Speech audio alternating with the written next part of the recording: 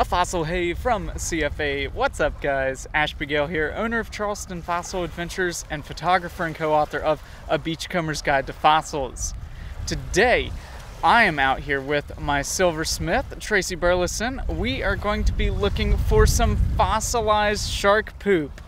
Our goal is to find a piece that we are able to polish. Yes, we are polishing a turd, and we're going to make an incredible piece of jewelry from it. So, without further ado, let's get into it. So, obviously, one of the major questions about fossilized poop is how does it preserve, especially marine animal poop. So we can stop saying poop. The scientific name is a coprolite. This comes from the Greek roots kopros and lithikos, meaning dung stone for our shark coprolites, we're going to look for this nice little rolled up piece of paper design. It's called a scroll pattern. This indicates that we are dealing with coprolites from the small intestines of dead sharks. So these sharks died with fecal matter still in the intestines and those intestines held it together long enough for that matter to mineralize.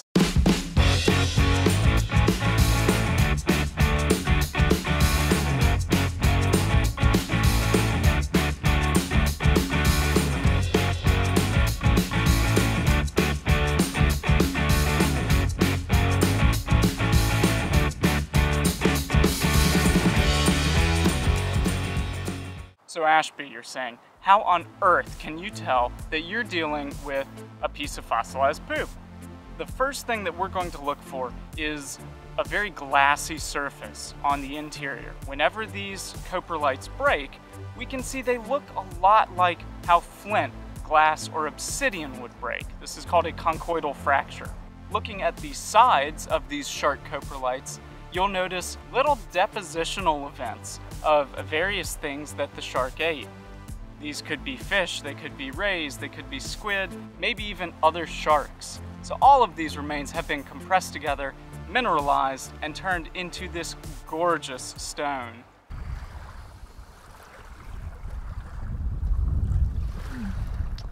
Wow. It's really red. Yeah, it is. You tell me not to pick up anything red. Tooth. Another thing we can look for in our hunt for coprolites is a surface that has little tiny air bubbles. These are most likely the result of trapped gases within the fecal matter.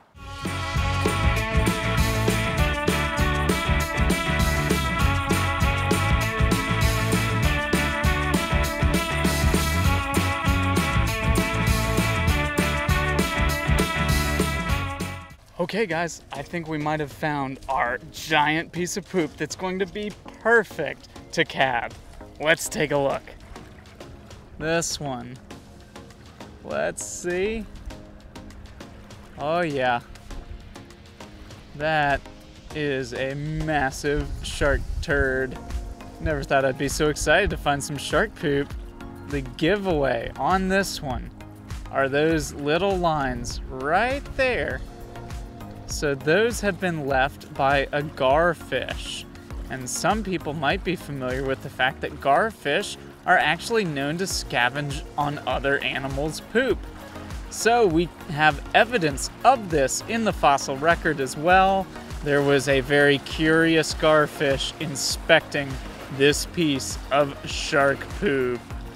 And now it is about to be turned into a gorgeous piece of jewelry let's go back to the studio and polish this guy right up.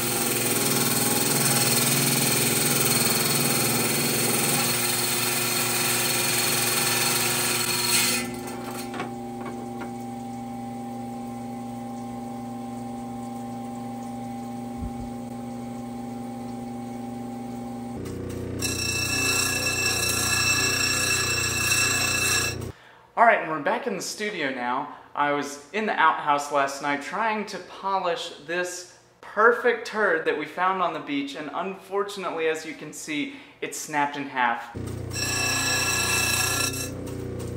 Oh, crap.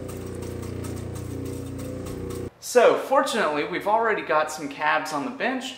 I'm going to take this one right here, and we're going to go through the entire design process from crafting the silver bezel to hold the stone in place, cutting a band, adding decorative elements, assembling it all with fire and molten silver, polishing it, tumbling it, and setting it. So you're going to see a quick montage of all of these elements that go into the creation of our custom Poowelry pieces.